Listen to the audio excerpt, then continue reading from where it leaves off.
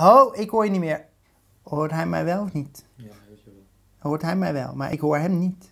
Hij hoort mij. Nee, hij, jij hoort het ook niet, hè? Ja, nu wel. Ja, Ja, ja, we ja, horen ja, elkaar ja. weer. Ja, ja, ja, zo gaat het met techniek natuurlijk. Je zit hier allemaal door kastjes geplucht en eh, dat soort dingen. Je bent nu ondersteboven. Flynn, ben je daar? Ja, ben ik nu weer goed? Flynn. Ja, je doet het. Heel goed.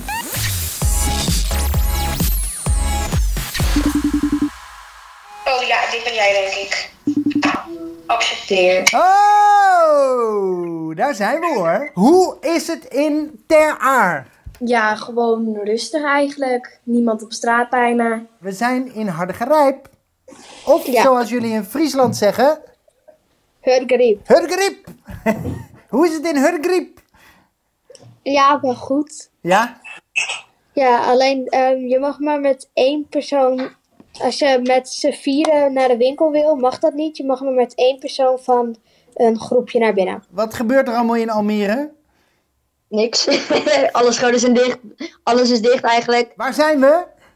In Den Haag. Hoe gaat het daar? Goed. Oké, nou dat klinkt echt heel enthousiast. Ja, het is gewoon ja, een beetje saai om de hele dag thuis te zitten en niet op naar school te kunnen. Ik vind het wel jammer dat het nu zo moet zijn. Want ja, we zouden de bloesemtocht hebben, gaat niet door. En allemaal andere dingen gaan ook niet door. Dat is wel jammer. Het is wel heel saai. Want je mag niet naar buiten of je vrienden zien. En dan ga je je wel automatisch vervelen. Omdat je dan niet lol kan maken. Nu, zeg maar, ondervind je wel hoe leuk school eigenlijk wel is. Nou, eerst dacht ik dat thuisschool wel leuk was.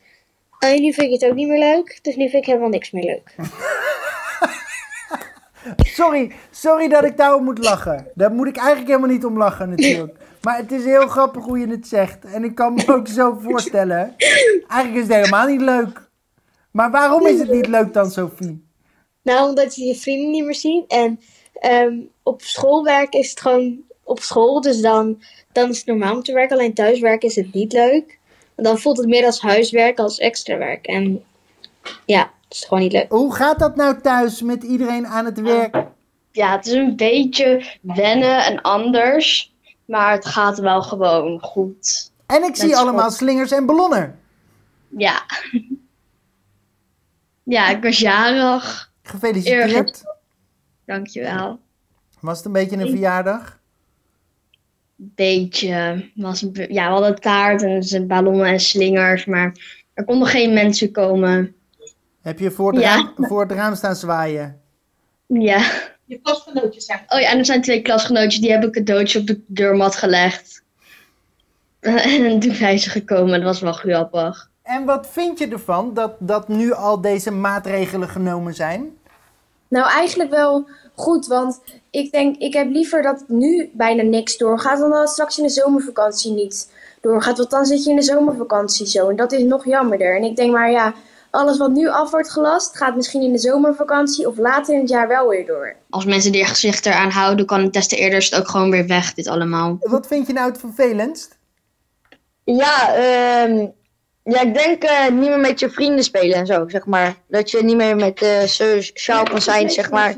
Dat je met, ja, alleen maar via Playstation of via telefoon. Maar dat je zeg maar niet meer met elkaar naar huis kan, zeg maar. Gewoon om te spelen en alles. Dat. Maak jij je zorgen over het, over het corona-gedoe? Ja, wel dat het nog veel langer gaat duren. En dat je misschien wel dit hele schooljaar niet meer naar school kan. En dat je hele, hele schooljaar, dat nu nog, het stuk dat nu nog komt, dat je bij je vrienden niet kan zien. Dan wordt het wel heel saai. Er ligt echt helemaal niemand. Er, er loopt gewoon echt helemaal niemand op straat. Het enige wat eh, over straat gaat zijn de honden met eh, mensen die ze uitlaten. Maar dat is het. Kan je inderdaad nog wel buiten dingen doen? Ja, maar ik heb wel zeg maar van.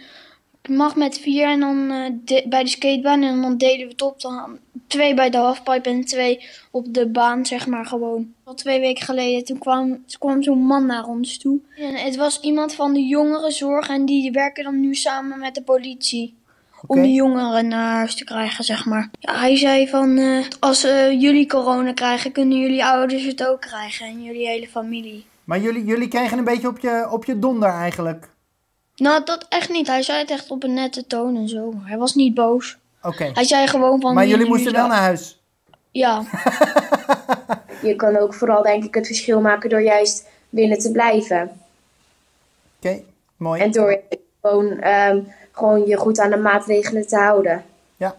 Dus juist, je kan het verschil maken door juist wel iets te doen, maar eigenlijk beter denk ik om niks te doen, een soort van nu. Mogen er ook wel dingen blijven die nu, die nu anders gaan door corona en die, eh, waarvan je zegt van nou, dat mag, dat mag best wel gewoon vaker zo? Ja, je hebt bijvoorbeeld nu die actie met die beren die aan het raam zitten. Dat kleine kinderen, dat, dat, dat kan je vaker doen. Dat hoeft niet per se noodgevallen. Want ik denk dat kinderen dat wel leuk vinden om dat eigenlijk bijna altijd te doen. Lieve Puk, ik vond het gezellig om even met je te kletsen. Ja, ik Sterkte daar. Ja, Doei. Jij ook, hè? Doei, doei, doei, doei. doei, Spokkie, zeg eens doei. Kijk, daar is de hond. Oh, heel goed. Dat was een doeilik, was dat. Ja, dat was een goede leek. Oké. Dankjewel, Doei, doei. Flynn. Doei. Doei. Hilarisch.